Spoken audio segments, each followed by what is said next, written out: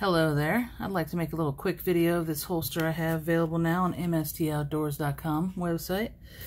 This will fit any of your Bond Arms Derringer. It's custom made to the size you have. Just select your barrel length or model in the drop down menu. This will hold two extra rounds of ammunition. You can also pick which ammunition you need to fit in there. This will go outside your waistband with a belt loop attached here, nice and beefy. It's the same thickness I make the holster out of, and it'll accommodate up to a one and a half inch wide belt. There is no snaps or anything holding it in, but the retention for this, as you can see, is amazing. You can find this holster and all the rest I offer for the Bond Arms Derringers on my website at mstoutdoors.com. Thanks for watching.